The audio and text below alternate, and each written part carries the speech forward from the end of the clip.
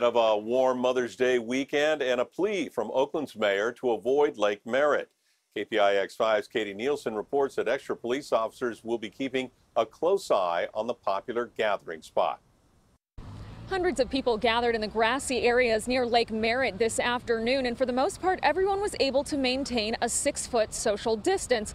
But with Mother's Day on Sunday, the mayor is desperately asking people to find somewhere else to go. We must give the lake a break. Oakland Mayor Libby Schaaf is asking people to make other plans this weekend than a trip to Lake Merritt. We have seen large gatherings. We cannot continue to allow it. But people at the lake say as long as they're staying six feet apart, it shouldn't be a problem. I don't see anybody doing anything wrong. Everybody is, I feel like social distancing.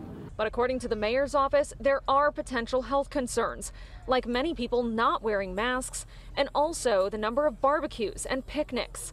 According to the shelter in place order, people are only supposed to be outside to exercise and aren't supposed to be gathering. Please find somewhere else to go. You can't go to restaurants. You know, the only thing you can do is be outside.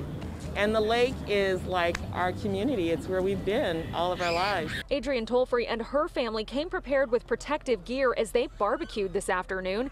And despite the mayor's ask, she says she and her son will probably come back again this weekend to celebrate Mother's Day. I don't really think you're going to be able to keep everybody in, to be honest. So why create problems for people? This weekend, ambassadors from the Parks Department will be here handing out masks and reminding people to stay six feet apart. The police will also have an extra heavy presence this weekend, but their focus will be on education, not enforcement. In Oakland, Katie Nielsen, KPIX 5. After several days of